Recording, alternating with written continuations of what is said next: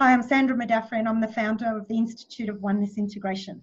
I'm a holistic and spiritual trainer and mentor, and I'm here today on the Online Prosperity Show to show you how you can become aware of your full potential and live a limitless life.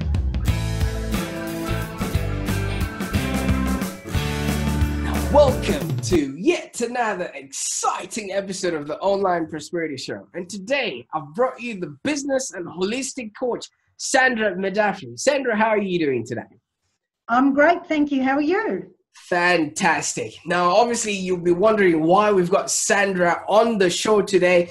Um, we're always bringing in experts in their own realm so that they can help us either have a life that's of a happier existence or a business that's profitable and enjoyable. Right now, maybe I could ask you a question. You could be stuck in a rut, or maybe you just feel like you don't belong where you are and you just can't find out a way, um, you know, to your own happiness or to actually have a full life. And you probably tried everything, but you just can't see the light.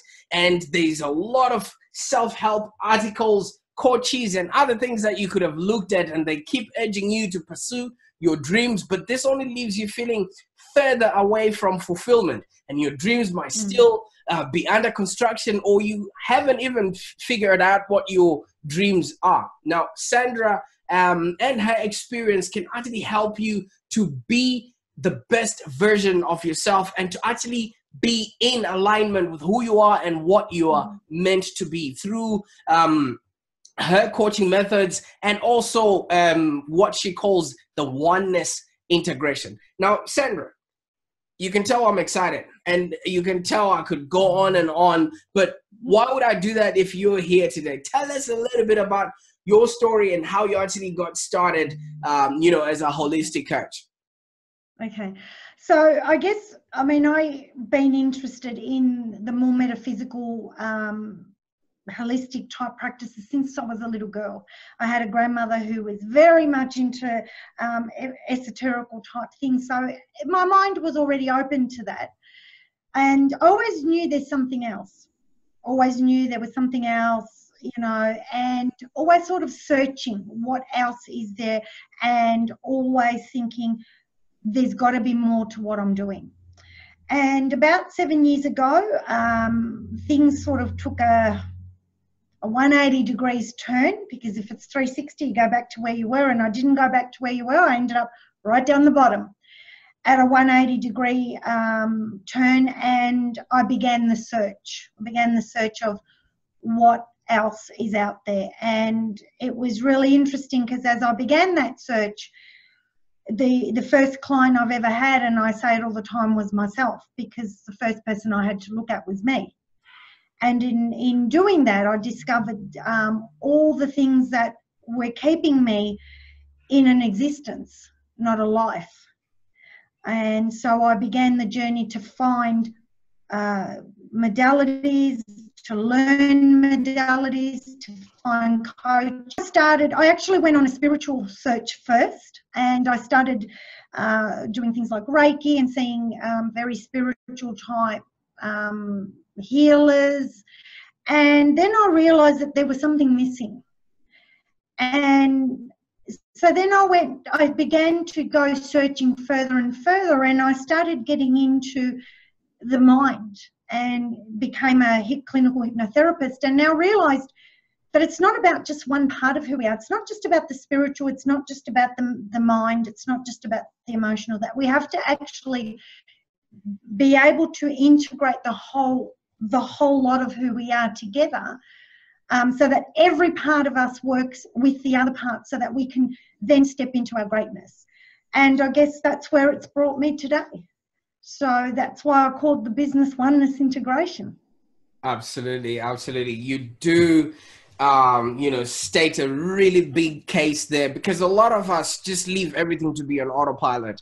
And as you say that, um, you know, you always were questioning that was was this uh, all there is you know what i mean so would you say that your now situation is based on you actually listening to what your emotions were telling you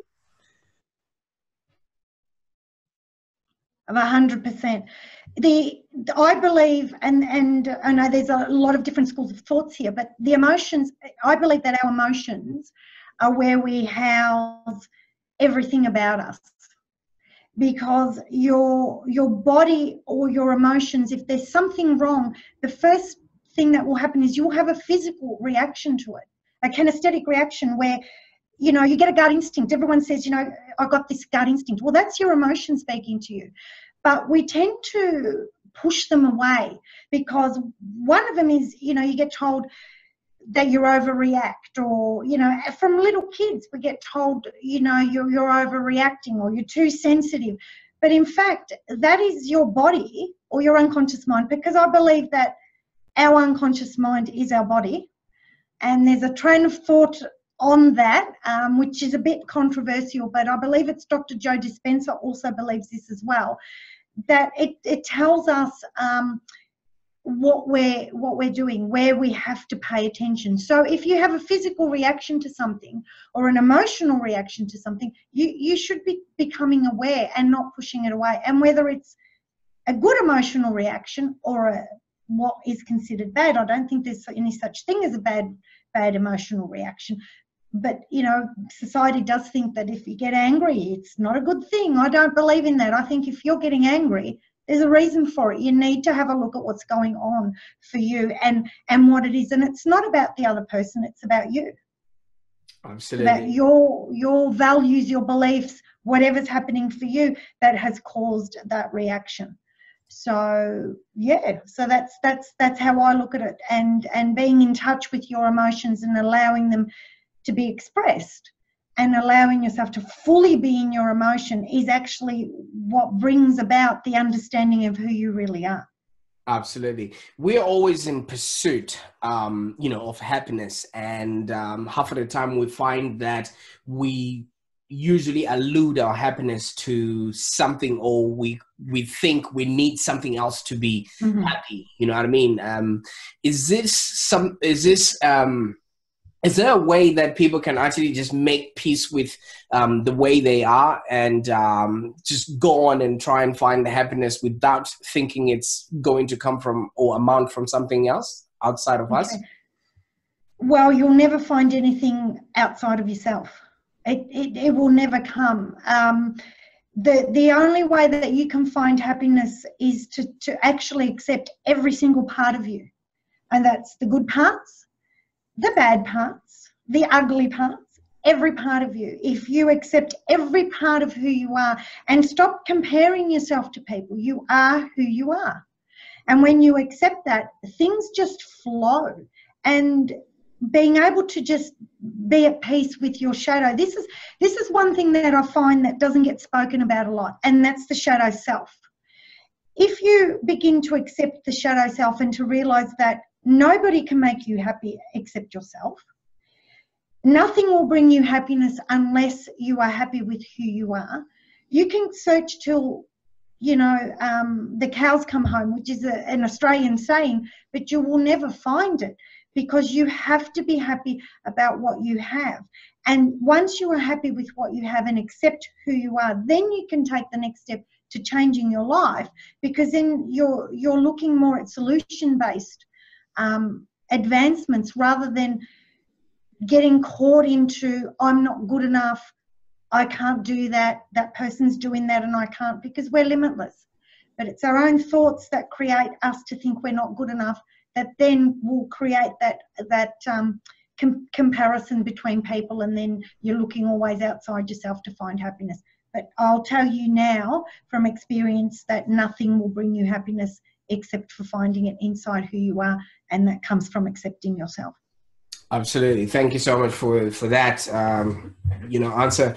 Now sandra you did mention uh, in one of your statements till the cows come home or something being an yes. australian um, you know statement. There's there's a really big um, australian thing that i have come to come across. The whole tall poppy syndrome.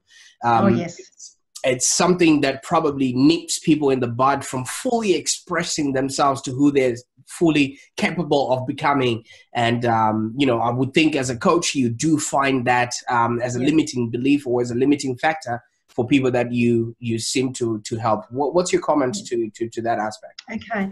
Um, there is a very big tall poppy syndrome in Australia, and we, we have a habit of cutting people down that are doing really well. Now, what I'm going to say to people out there, and it's really interesting because at the moment in my group, I'm actually running um, a challenge on the four agreements, and we're on week two.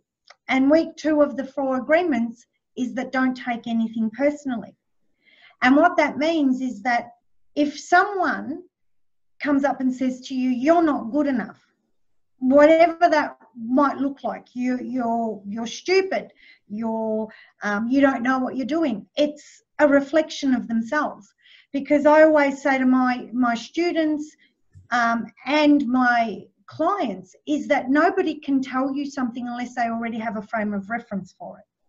So if someone thinks that you're stupid, obviously that's triggering stupidity in them and they're seeing it. So, because or else how would they know that you're stupid? So, it's not about you. It never is about you, but it's up to us whether we accept or reject what someone says to us.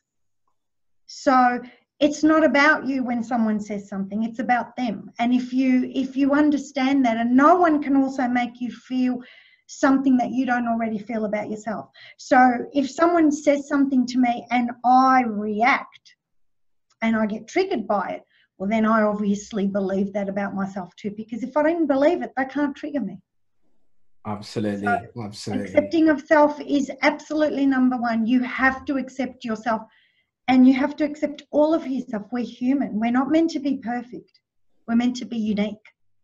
Absolutely. I read um, I read somewhere Sandra Wade says, I think humans are the only people that uh, are self-judgmental. There's never been a record or, you know, somebody heard a flower or tree saying, oh, my bark is too rough or my petals yeah, are not too exactly. bright. I'm not going to bloom this winter, you know, and it's only humans that sort of nip themselves in the bud.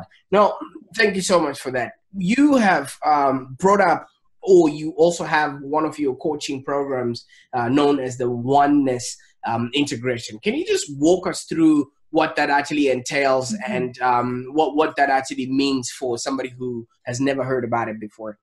Okay, so what oneness integration is a, a program that I put my clients through, and it begins with me needing to really understand the client back the front and inside out. I really put myself in their shoes. So it, it starts with a very comprehensive um, two and a half hours roughly of questioning of where I understand what their problem is and why um, they're in a, the situation that they're in, what it is that that is holding them in in that problem, because you know, when you're in a problem, you can't see past it. So I need to understand the problem. I absolutely need to understand the problem. And once that happens, then I begin um, the coaching process.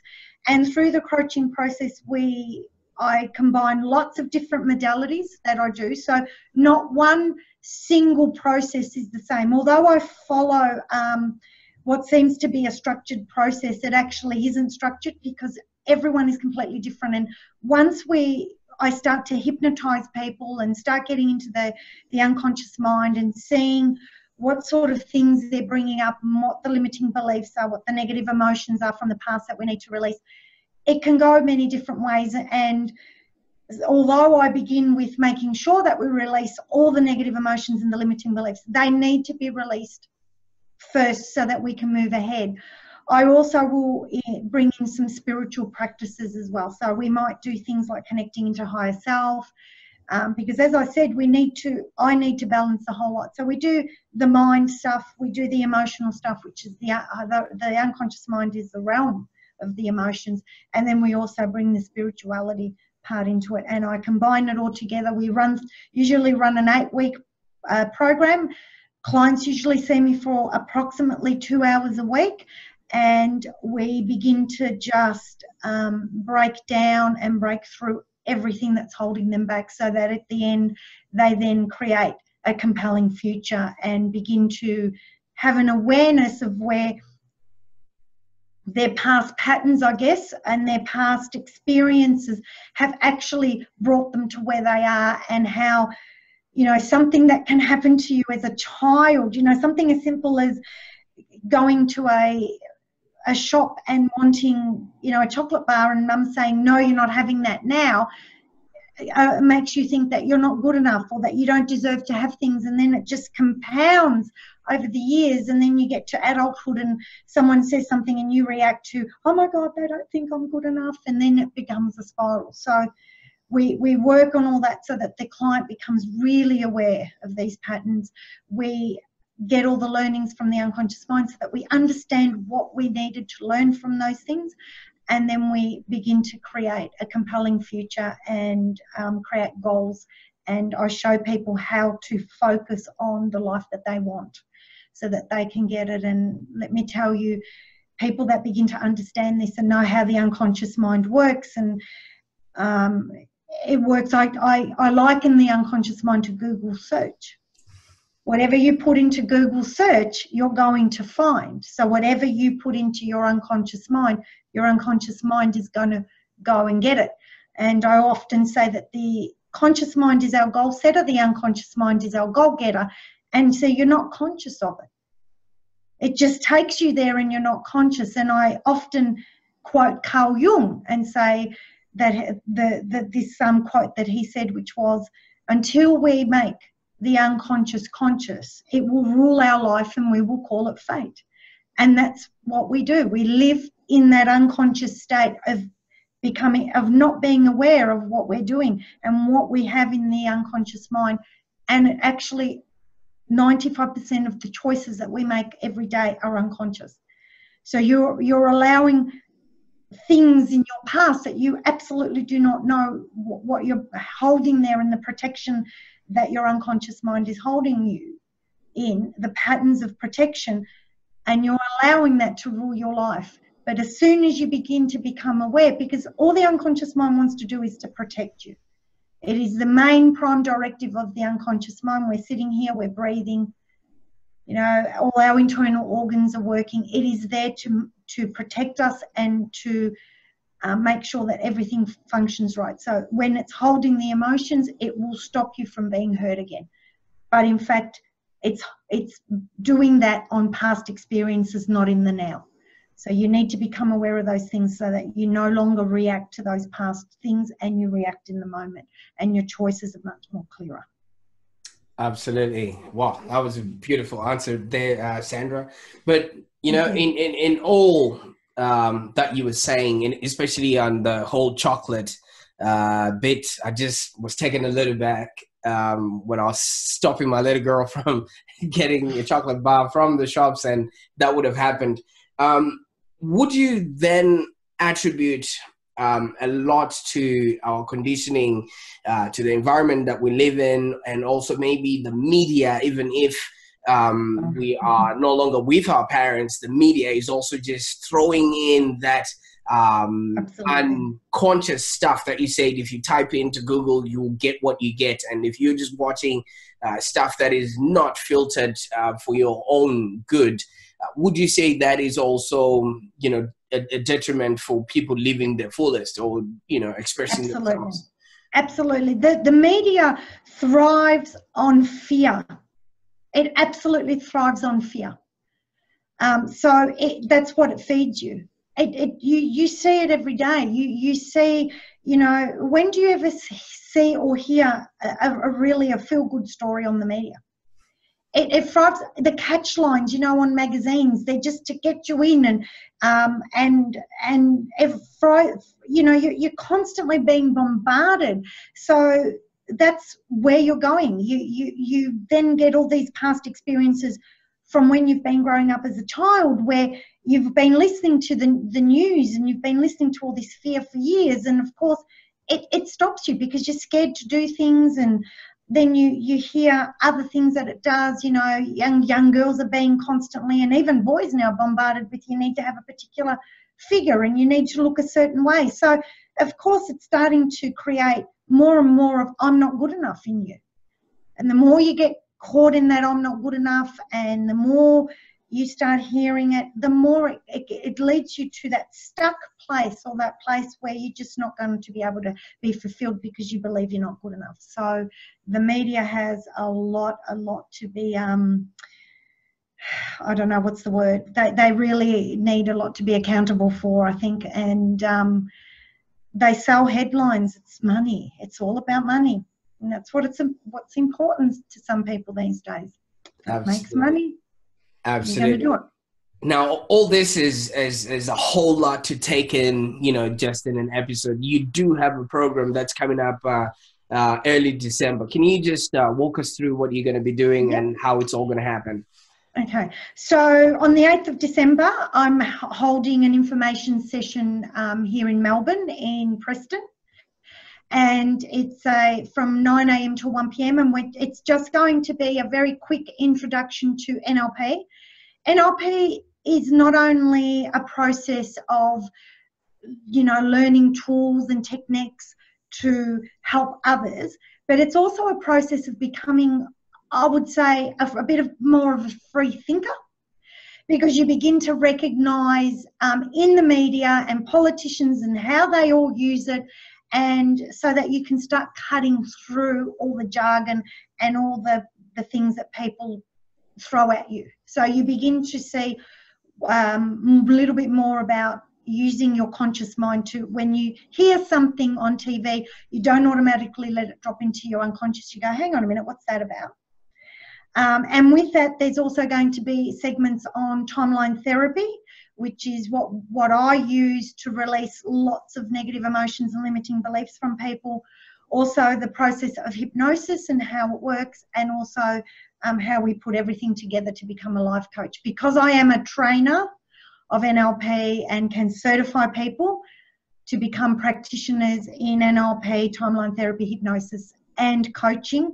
Um, I want to show people how they can use it not only for business um, in in their holistic practices, but also in their private lives as well. Because at the end of the day, any, anything that you use, um, even as a parent, you'll learn communication skills and you learn. You know, one, one of the things I laugh about is we, we teach the five step selling process. And people say to me, Why would I want to learn that? Because I'm not in business, I don't sell. But you know what? You, you actually sell every day because when you're a parent, you actually need to sell to your kids that it's time to go to bed. And so you learn negotiating skills and things like that. So I'm going to show people um, it's only four hours, but in those four hours, it will be jam packed with value, things that you can take home. And one of the things that I love teaching people in uh, my four hour workshops, half day workshops, is the what I call the anxiety model, which is part of timeline therapy. How you can beat anxiety with just a small meditation. Very, very small meditation. So, um, yeah, so I'm going to give people all those sorts of hints and tips and hopefully do a little bit of intervention on some people that come along. Um, something that we can do quick and show people how um, NLP and timeline therapy works and hypnosis. I love hypnosis. I won't have anyone clucking like chooks, I promise. Absolutely. Well, Sandra, I mean, obviously, um, it, it takes those that have ears to have heard what you just dropped, um, you know, on the show today. But, you know, we live in a world where skeptics are still prevalent and they are actually perpetrating all the media stories that uh, you're talking about. And, um, you know, dicing people with fear and just throwing out uh, all this mediocrity out there, which is making people feel inadequate about themselves. Um, exactly. What would be your sort of last words to people, and you know, just telling them that you've watched this show? Uh, it's time to you know take a grip of yourself look at um, what's around you look at how you present yourself um, you know in in in, in public mm-hmm. who you are it's time to actually start um, you know taking control of your life so you can live um, a full life right then. Okay. So I guess the people that are going to get the most out of this are the people that are ready to do to make that move. And you know what? We we have a saying if it's not broken, don't fix it. So I guess for anyone who is going to be skeptical or who's going to think that this doesn't work, that's where they're at, and I totally respect that. But for people that are stuck, for people that know there's something else, for people who want more, who don't just want to exist, who don't just want to go to work every day, come home, eat, watch telly, and just live on that borderline, you know, that grey zone, that comfort zone that we're all used to. I can say to you that you can step out of it, but it's up to you. I'm not going to say it's easy because it's not. It's very uncomfortable to step out of that comfort zone. It's very uncomfortable to go into something that you don't know, but it sure is worth it when you get there because you will never ever look back on your life or look at life again through those eyes of what you're looking at now.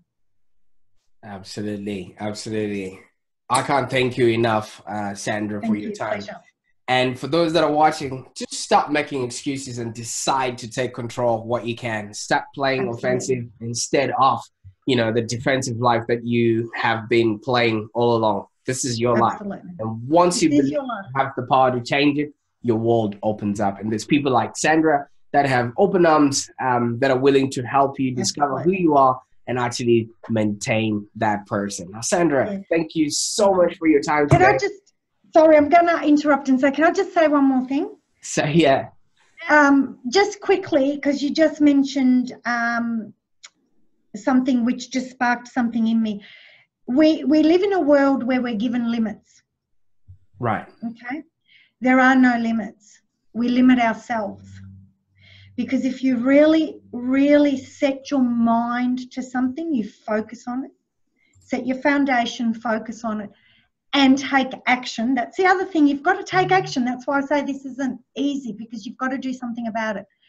There is nothing you can't do. And I really want people to understand that. There is nothing a human can't do.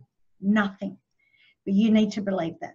And I've seen people create some amazing lives. So if you want it, just go for it. Well, if you believe it, you can achieve it. And don't ever let anyone tell you any different. Ever. Absolutely. Absolutely. Now, Sandra, I can't thank you enough, like I said, and um, especially you showing us how your oneness integration is actually a unique journey that you will be taking people on a rewarding and magical experience so they become aware of their true potential and how to make their world um, you know limitless. Now thank you so much for your time today. Thank you. Very honored. Thank you for that. Everything. Bye